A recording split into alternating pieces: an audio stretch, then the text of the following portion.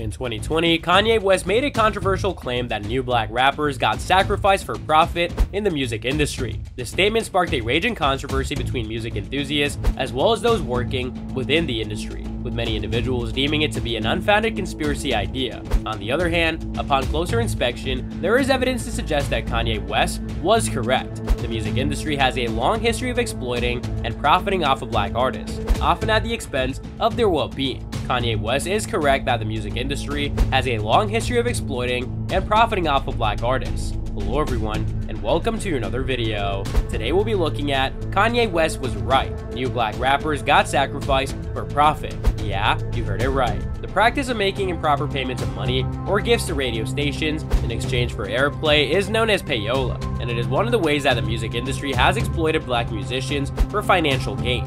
Specifically, this has occurred through the payola business model. This technique is especially detrimental to emerging musicians since they frequently lack the finances and relationships necessary to independently get airplay for their music. Instead, they are compelled to rely on payola in order to acquire exposure, which can result in a vicious cycle of debt and dependence on record companies and radio stations. Exploitative contracts are just another method through which the music industry has facilitated the exploitation of black musicians for the purpose of financial gain. Many record labels provide artists with 360 deals in which the label receives a portion of all the artist's revenue, including income from the sale of items and income earned from touring. Deals like these can be extremely lucrative for well-known artists who already have devoted followings, but they can be extremely detrimental to the careers of emerging artists who are just starting out in their fields. These musicians frequently find themselves in a position where they owe more money to the record company than they actually make, which can result in both financial collapse and a loss of creative freedom.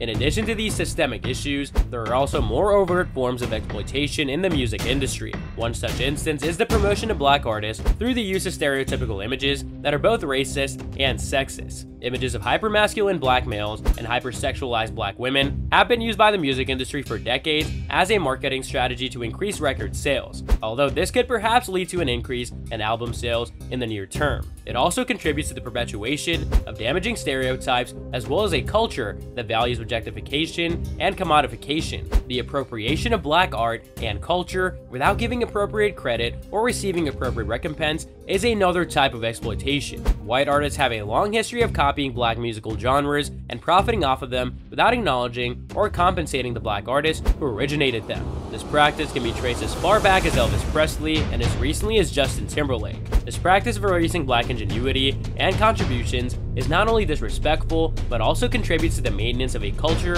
of white supremacy inside the music business. The cumulative effect of all these problems has resulted in a culture in which black artists are frequently regarded as expendable commodities rather than as creative persons who have their own distinct viewpoints and experiences. Because of this, music industry has become one in which the voices of black musicians are either stifled or co-opted for the sake of making a profit rather than being appreciated and supported. On the other hand, the music industry has made sacrifices for the sake of profit, not only with up-and-coming artists, but also with established musicians. Even well-known black musicians have reported being used and mistreated by record labels and industry officials at some point in their careers. For instance, in the 1990s, Prince famously battled his record company, Warner Bros., in order to achieve greater creative control and ownership of his songs. This fight took place in the United States. In a similar vein, Lauryn Hill has opened up about the ways in which the industry pressured her to adhere to particular appearances and sounds, which ultimately led to her exit from the industry.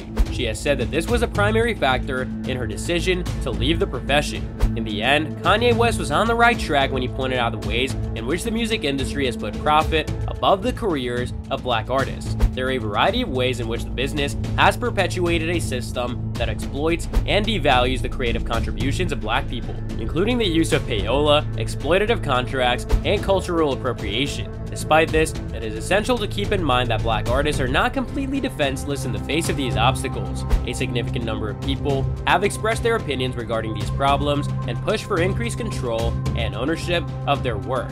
It is the responsibility of fans, industry insiders, and society as a whole to pay attention to what they have to say and strive toward making the music industry more just and equitable for all parties involved. So that's all from today's video. If you enjoyed it, remember to leave a like, subscribe, and and ring that bell icon so that you never miss our upcoming videos. And don't forget to share your thoughts in the comments section down below. Stay tuned, and we'll catch you in the next video.